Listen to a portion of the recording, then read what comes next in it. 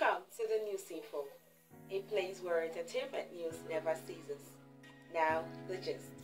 DNA test should be made compulsory after birth. Big Brother Nigeria reality star Josephine Otabor, popularly known as Phyna, has shared her opinion on DNA tests.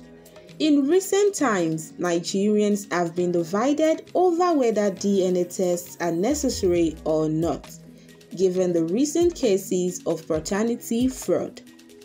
Joining the conversation via her ex handle, Phyna said she supports the recent statement by music executive Don Jazzy that DNA tests should be prioritized over naming ceremony. She called for DNA tests to be made compulsory immediately after birth. Posting a picture on her ex handle, she wore a lemon gown and carried a basket of fruits. She wrote, I support DNA test over naming ceremony. It should be passed that it is compulsory immediately after birth. A DNA test should be carried out. This particular caption of ours has called a lot of comments from netizens. While some admired her dress and her beauty, others asked her why she took the DNA matter personally.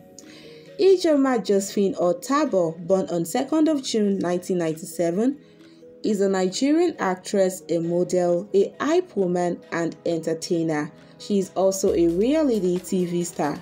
She is the winner of Big Brother Nigeria's 7th season. Phyna is from Edo State, Nigeria, and while on the Big Brother show, she mentioned that she is Igbo by tribe, even though her community is in Edo State. She grew up in Edo State where she had a primary and secondary education and she completed her studies in the engineering department of Auchi Polytechnic. Before entrance into the Big Brother Niger house, Phyna was a commercial model who started a career from college and was signed by a modeling agency.